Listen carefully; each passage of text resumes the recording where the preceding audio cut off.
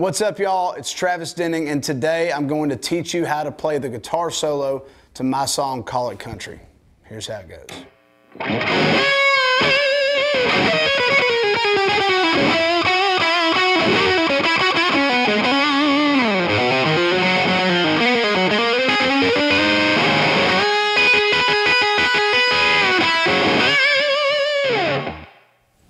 Just after these three easy steps, you can play that solo, even if you don't play guitar.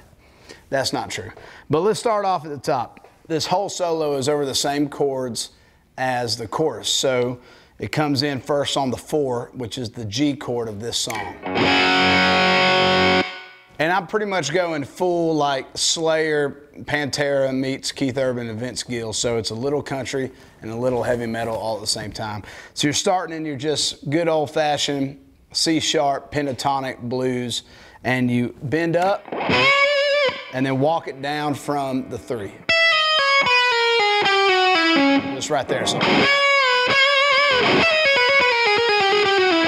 And then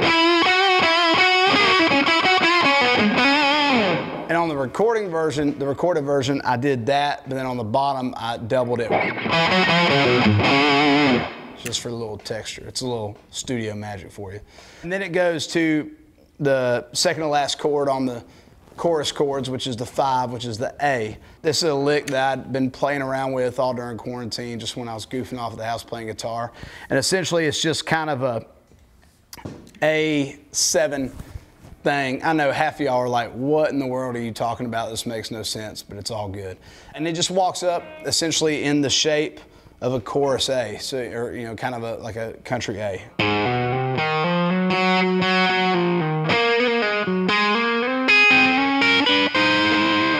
And all of that, I mean, if you were playing a song in the key of A, you could play that over and it'd be fine. So that's.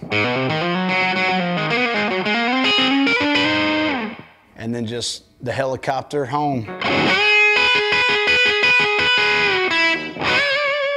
So there you have it. That's the guitar solo to Call It Country. I'll play it front down for you one more time.